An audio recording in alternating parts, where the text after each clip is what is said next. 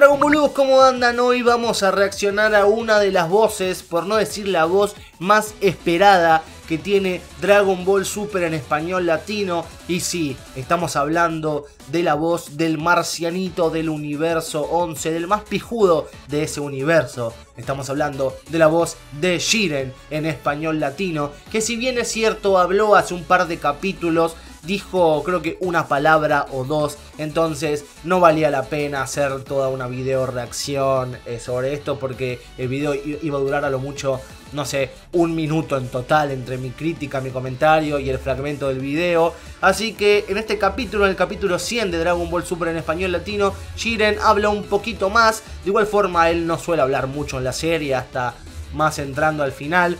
Así que nada, sin nada más para decir, vamos a reaccionar a la voz de Shiren el Gris en español latino. Acompáñenme. Bueno, ahí empieza. Está Shiren. ¡Oh! ¡Perro! Yo me encargaré. La voz de Thanos, vieja. Bueno, creo que va, a hablar otra vez. Esto es cuando Jiren elimina a Kale. Me encanta la voz de Caulifla. Bueno, la de Hitch la conocíamos. Ahí está. Jiren. A ver.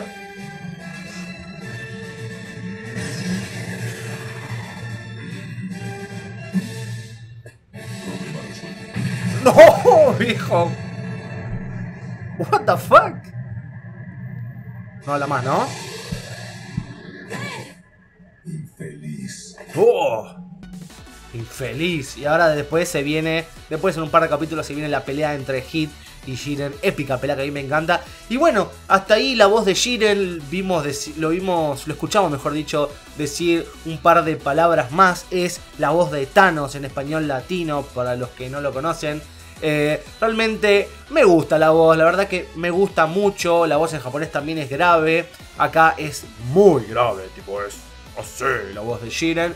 Realmente me gusta, le queda perfecto, pero necesito, necesito verlo con un poco más de, de, diálogos, pero para eso hay que esperar un par de capítulos, pero van a tener mi reacción para cuando Shiren hable un poco más de tiempo y pueda eh, analizar más esta voz. Pero por el momento le voy a poner un 9 de 10 porque quiero dejar ese puntito para ver si todavía mejora aún más esta voz en español latino. Pero díganme ustedes en los comentarios qué les parece esta voz para Jiren. ¿Creen que le queda bien? ¿Le hubiera quedado mejor otra menos grave?